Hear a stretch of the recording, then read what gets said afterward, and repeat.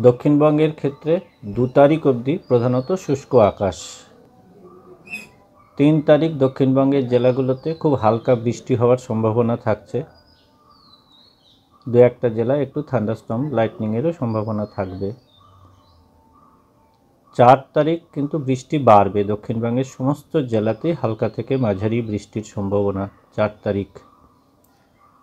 এবং আমাদের যে পশ্চিমের জেলা, অর্থাৎ পুরুলিয়া বাঁকুড়া, দুই বর্ধমান, পশ্চিম এবং পূর্ব, মুর্শিদাবাদ এবং বীরভূম।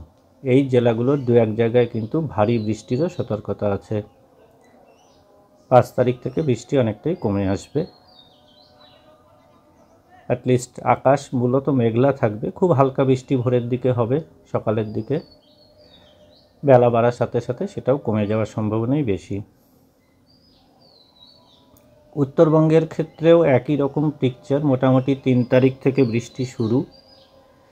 চার তারিখে কিন্তু সমস্ত জায়গাতেই হালকা থেকে মাঝারি বৃষ্টি এবং উত্তরবঙ্গের সব জেলাতেই দু এক জায়গায় ভারী বৃষ্টির সতর্কতা থাকছে চার তারিখ।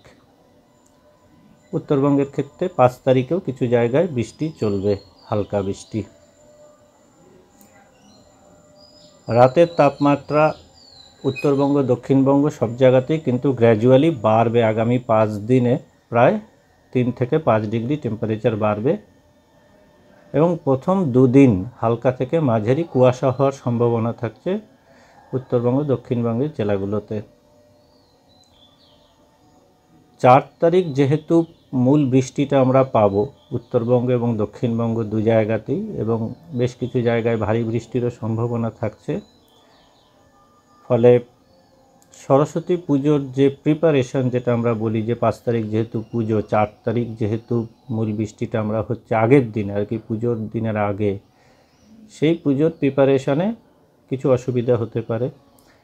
তো সেইটা যারা উদ্যোক্তা, পুজো উদ্যোক্তা বা যারা পুজো করছেন তাদের একটু মাথায় রাখতে হবে। বিশেষ করে সরস্বতী পুজো অনেকেই খুব ছোট ছোটোভাবে করে খড় পাটকাঠি ইত্যাদি ইত্যাদি দিয়ে সেক্ষেত্রে সেই রকম প্রস্তুতিটা নেওয়া দরকার যাতে পাঁচ তারিখ পুজোর আগে যেহেতু চার তারিখেই মূল বৃষ্টিটা হবে, যেদিন লোকের সমস্ত প্রিপারেশনটা নেয়।